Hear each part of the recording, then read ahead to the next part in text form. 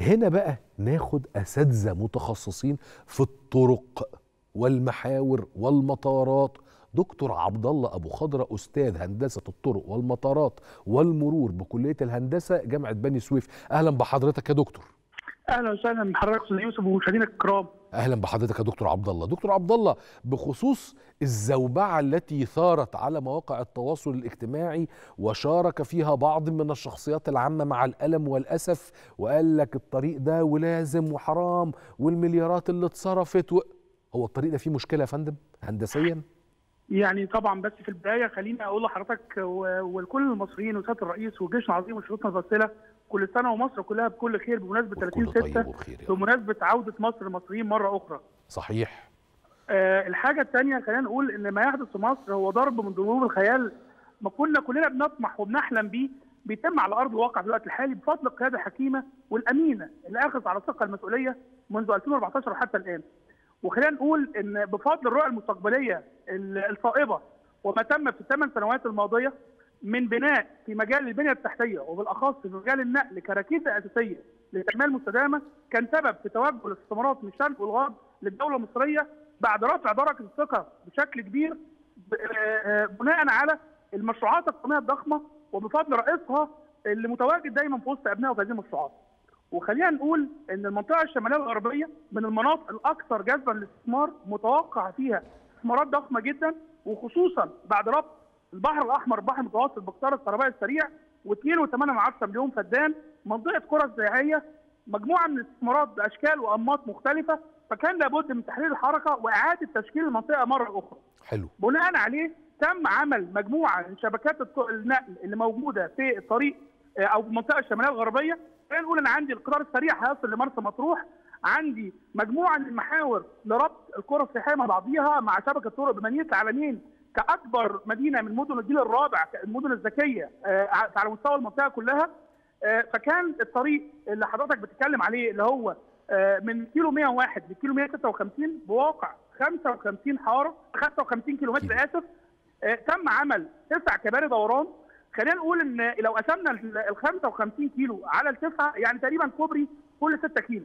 وده ده مطابق للمواصفات مش زي ما كان بيتقال كتير من المداخلات كتير من ال- التعليقات كل بين ال- ال- ال- التقاطع أو بين الكوبري والكوبري 35 كيلو لأ المسافة لا تتخطى 6 كيلو وده عشان نحرر الحركة بشكل ما فيش فيها تقاطعات سطحيه ومطابق المواصفات فده إحنا شغالين في في, في الرينج اللي متفق المتفق عليه طبقا للمواصفات. نيجي للشكل ده الدورانات وده شكل متعارف عليه موجود في دول كتير موجود في إنجلترا موجود في فرنسا موجود في اليابان موجود في أمريكا موجود في السعودية في الخليج جنبينا. هو عبارة عن بنسميه ال rotary أو round round أو بنسميه بالبلد الصينية أو الدوار في الخليج بيسموه الدوار. أيوه الدوار. ودايما بتلاقي في ال- ال- العلامات الارشاديه في الخليج يقول لك الاولويه للدوار لأن هو الحركة فيه بتبقى في اتجاه واحد عكس عقارب الساعة. ولو أنا طالع وفي عربية بتلف لازم أحترم العربية اللي على الدوار. ال ال ال ال هذا ال- النوع من التقاطعات هو حرر الحركه بشكل كبير بحيث إنه بيسمح للطلوع والنزول من سواء الطريق الرئيسي أو طريق الخدمة بحيث مش نزول في طريق الخدمة يعني المناطق دي الخدمة أصلا هيخدم مناطق وأنشطة كتيرة تبقى مزدحم. فأنا مش عايز أزود تكتلات أو كثافات مرورية في طريق الخدمة بشكل كبير. فسمحت الحركه إنها تطلع وتنزل مع الطريق الرئيسي دون الحاجة للنزول في طريق الخدمة. آه. العلامات الارشادية اللي موجودة والاشارات النشر المروريه اللي نزلت بتقول سرعات تم تخفيضها من 100 ل 80 للطرق مظبوط. للنقل الجماعي ول 60 للعربيات النقل الثقيل واللي تم حظر حركتها على الطريق السريع نهائيا من مارينا وحتى طريق جديد.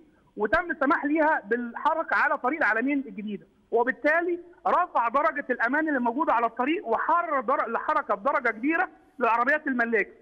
فده سهل الحركة ساعد على آه، الدخول والخروج من الخدمة الرئيسي بشكل سهل. طبعا بيتم احترام ال ال ال الأنشطة اللي موجودة من القرى السياحيه ومداخلها بحيث إنها ما تتعارضش مع الكباري اللي موجودة على الطريق. وفي نفس الوقت يكون في سيولة وسهولة مروريه تسمح للحركه بدون أي عوائق وطبعا كل اللي أنا بقول لحضرتك طريق ست حارات في الاتجاه الواحد الطريق الرئيسي وأربع حارات في طريق الخدمة. أنت بتتكلم عن عدد حارات كبير جدا. طريق آه، آه، متخطط ل ل- ل- ل- ل 20 سنة قدام. كل ده بيتم آه، وإحنا بنشوف دلوقتي ثمرة اللي بيتم ده على الأرض من خلال من خلال استثمارات ضخمة بتيجي وبنشوفها وبنلاحظها من مشروعات قوميه ضخمة بتساعد في فتح فرص عمل بشكل كبير. خلينا نقول لحضرتك برضو مشروع من المشروعات اللي حصل عليه لغط كبير جدا وحصل فيه كلام كتير جدا. آه، آه، ودلوقتي إحنا بنلمس آه، آه، فايده هذا المشروع وهو ازدواج قناة السويس. آه. حصل كلام كتير جدا عليها ساعتها وإحنا ليه؟ وإحنا كده كده حركة التجارة بتمر من عندنا ومفيش أي مشاكل. خليني أقول لسيادتك دلوقتي بعد 8 سنين خريطة العالم اتغيرت. حركة التجارة العالمية وخصوصا للمواد البترولية والطاقة بعد ما روسيا قفلت على أوروبا دلوقتي أوروبا كل الطاقة بتاعتها بتيجي من منطقة الشرق الاوسط بتحتاج قناة السويس. روسيا بتصدر البترول والغاز بتوعها للصين والهند عن طريق قناة السويس. زاد آه، يعني زاد ال- ال- ال- الطلب على الحركة من خلال قناة السويس بشكل كبير. القناة قدرت توفر أكثر من 11 ساعة انتظار للسفن والحاويات. اللي بتعدي من عندنا. فده زود عدد السفن اللي بتمر من قناة السويس ده معناه دخل جديد معناه استثمارات جديدة معناها مناطق صناعية جديدة معناها استفادة بشكل كبير. ولو ما كانتش نقاش. القناة الجديدة اتحفرت كان حصل مشكلة كبيرة في بالظبط. مسار التجارة العالمية. قناة السويس بتعدي فيها تقريبا 14% من حجم التجارة العالمية. العالمية. و22% من حركة تجارة الحاويات على مستوى العالم. صحيح.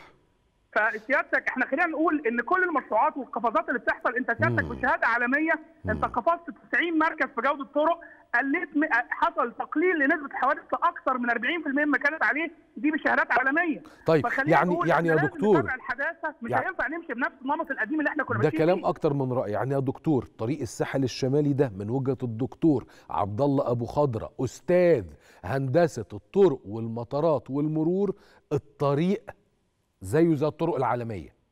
آه طبعا مفيش فيها أي مشكلة خالص أنا. هاخدها والطريق ستيتمنت تحت الإنشاء أيوه يا فندم. والطريق آه لسه زي آه تصريحات كانت الرئيس ما قالها وإحنا بنأكد عليها. الطريق لسه تحت الإنشاء ما انتهاش. آه إذا كان محتاج زياده علامات إرشادية في على فكرة رادارات رادارات ثابتة ومتحركة وكاميرات لمتابعة الحركة وضبط الحركة. كل ده بيتم على الطريق ولكن الطريق لسه ما اتسلمش يا فندم. وبالرغم من كده سعادتك زي ما قلت في أول البرنامج بتمشي في كم من الإرشادات والعلامات الإرشادية اللي موجودة على الطريق غير عادي. صحيح؟ صحيح بس وخلينا نقول كمان لحضرتك إن المشكلة ظهرت بشكل أكبر لأن أغلب مرتادي هذا الطريق أو مستخدمي مش من سكان المنطقة، ناس جاية تصيف في المنطقة، فطبيعي جدا اتجاهات الحركة ودي أول مرة استخدام وده لو كان استخدمه. أصلا بالظبط والله يا دكتور. يعني أنا عايز أشكر حضرتك جدا دكتور عبد الله أبو خضرة أستاذ هندسة الطرق والمطارات والمرور بكلية الهندسة جامعة بني سويف هو عمليا الصيف ما بدأش طيب وعمليا الناس اللي بتستخدم الطريق اللي بيستخدموه يعني. ده دي أول مرة. طيب أنا عديت عليك كم مرة دول عشان شغلي؟ ليس إلا. طيب سيبك من شغلي. يا عم أنا بصيف ببلبط. مش دي القصة؟ أنا سقت. أنا وأنا أتحدى حد يقول لي حد يقول لي في الناس اللي بتنتقد دي أنا سقت وأنا مش مبسوط. يا راجل يا راجل. والله 99% من حجم الهوسة دي ناس ولا عتبت الطريق لكن هي زيطة. نعز الزيطة ع- معزة. مفيش بعد كده. يلا بينا نزيط ونهيس وأي لغوصة. بيقولوا اليومين دول يلا بينا بنزيط على الطريق يلا كله يزيط على الطريق. بكرة هنزيط على حاجة جديدة برضه ما ينفعش. شعب شغال غير شعب زياط. انت بتهدم نفسك بالمناسبة. اللي بيزيط ده انت بتهدم هو عمليا الطريق ده بتاع حضرتك مش بتاع حد. الطريق ده ملك سيادتك. الطريق ده معمول لمصلحة حضرتك. يقلل الفقد في الأرواح يقلل حجم الإصابات يقلل الحوادث قدر الإمكان يعني قدر الاستطاعه الطريق بيقول يا راجل يا راجل ميدان في الهوا واقف عليه خدمة عشان ترشد سيادتك. يتعمل إيه تاني؟